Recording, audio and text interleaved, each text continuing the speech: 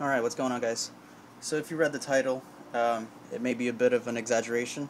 Um, honestly, to me, it's a, it's, a pretty accurate description of this knife. Um, there's not a single detail that is uh, out of place or you know would seem like an afterthought. Um, none of that. Everything is where it needs to be it functions properly and just finished. Finished perfectly.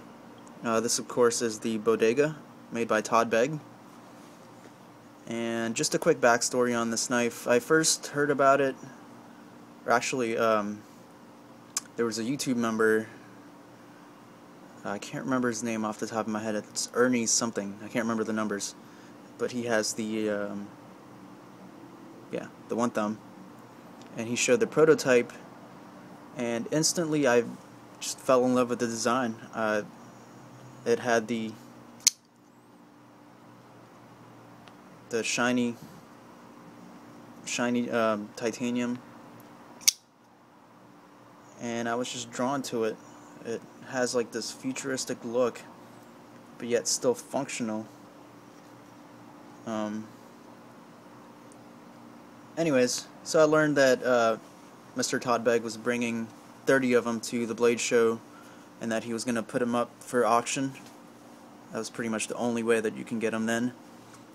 And due to some BS that was going on with a custom knife dealer, that's a whole nother story. Um, I didn't get one. Uh, a couple people got them that weren't a part of that uh, custom knife dealer. I'm not going to name who it is. Uh, if you really want to know, uh, PM me and I'll let you know. But yeah, I lucked out, and you know, pretty much that whole weekend I kept going back to uh, Mr. Todd Begg's table, and I would sit there and just chit chat with him, play with the knives, and just just an awesome guy. Really, uh, really nice knife maker. Um, also spoke to Mark, which is his brother, and uh, Matthias. Really cool guys. Um, so they pretty much told me to uh, get on the pre-order list, and I did. So two weeks later, um, this one showed up.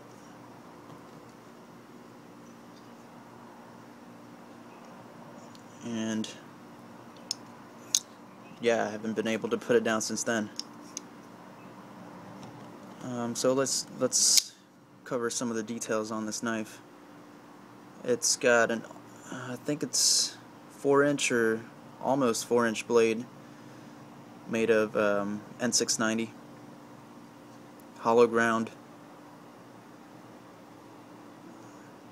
It's really thin down to the edge. It's an excellent slicer.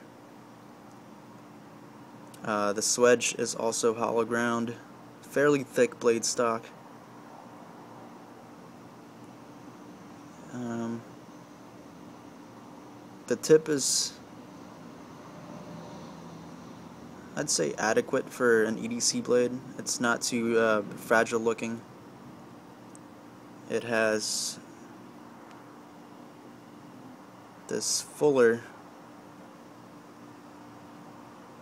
with holes in it and I'm pretty sure that's um, like a uh, signature Todd Begg design. I know most, if not all, of his custom knives feature um, this fuller with holes in them.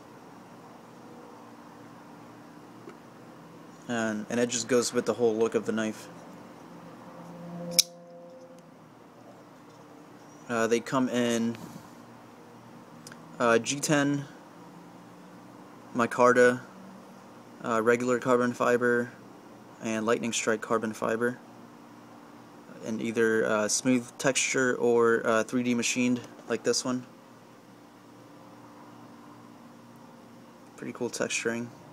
Um, it's not at all like aggressive or it's just right. Um, going back to the level of um, craftsmanship and attention to detail is just through the through the roof. I mean,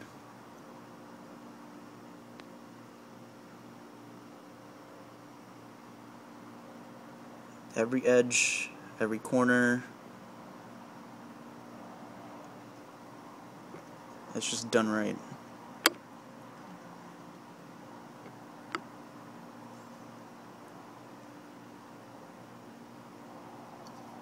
IKBS, of course. It has a, um, a titanium pivot collar with a cracked ice finish,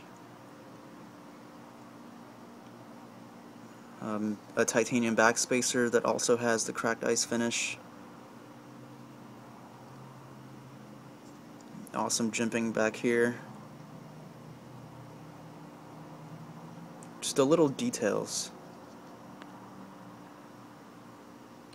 As you can see, the the peaks of the jimping are it's semi-polished satin, but then the valleys have been bead blasted, so it gives a, a pretty cool contrast. The inside of the backspacer is also finished with that cracked ice look to it. Look at that.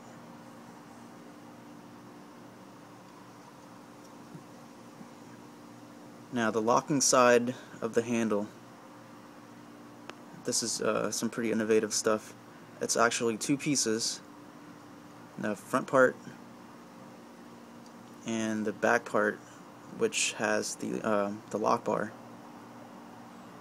Um, both pieces kind of work off of the lock bar and these holes have to be machined perfectly for it to function you know as as intended.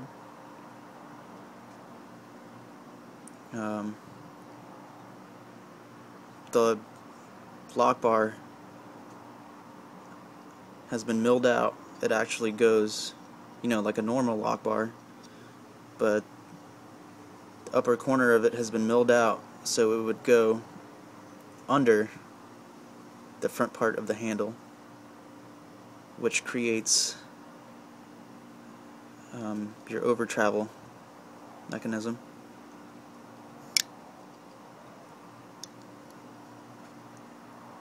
So that's pretty cool. Again, IKBS. Um, this knife has the most perfect detent that I've ever come across. It's just flies out. I mean, effortless. Uh, you can do it this way.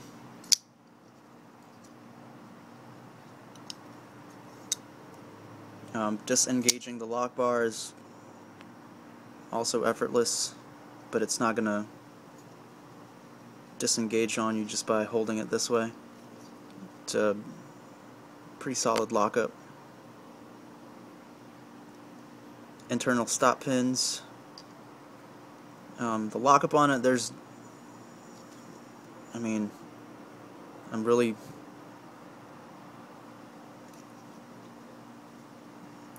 I'm really tweaking this and I'm not getting any play left to right or up and down. So it's another thing that he got right. Um, this is a pretty cool thing that I've noticed between these two. They're made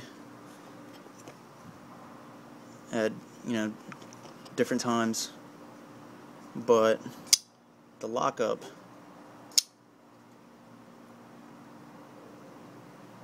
is pretty much the same on both of them. It's right at, what is that, 15, 20%. And it doesn't matter if you Open it slow.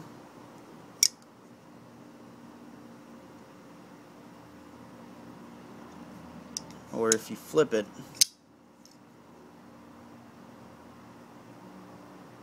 always goes back to the same spot with either knife.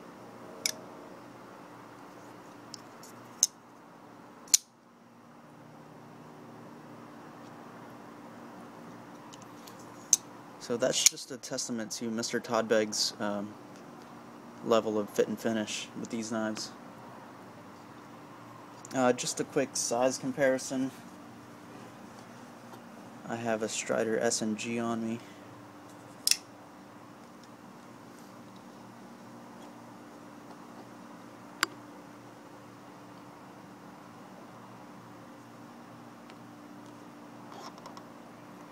So I would say it's about the size of an SMF. So it's a it's a pretty decently sized knife. Um, perfectly balanced so you don't feel the weight at all. Um, super super ergonomic handle. Um, everything's been rounded off I don't know if I've mentioned that yet. There's um, there's sharp corners or anything that would give you any discomfort when you're holding it. And your hand just locks in there. There's no jimping up top, but you really don't need it. The uh, flipper tang, along with the jimping on the lock bar, and the curvature of the handle, just locks you in there. Um, even in reverse grip, you are locked in. Um, you have a choil here. Um, this grip is also also phenomenal. Super comfortable. Um, pretty cool detail that he did. Uh, the heel of the cutting edge is actually flat. So you don't run into um, possibly cutting yourself while you're in this grip. Uh, some of you that own XMs know what I'm talking about. Um, there's been a couple times where I've almost gotten bit by that heel, but as you can see, it's flat. Pretty cool feature. So pretty much this knife is uh, intended to be used, and I have I've been using this one. Um, it's been in my EDC rotation pretty much since the day I got it. Um, yeah, they're a bit pricey, but I mean, really, for the level of perfection and quality and you know, all that is just factored into the knife and as you can see there's two of them you won't mind price. Whoa. As I knock my tripod over. So that's uh, that's pretty much it. If you guys have any questions or whatever, just leave them in the comments. Or you can PM me. Alright. Take it easy, guys.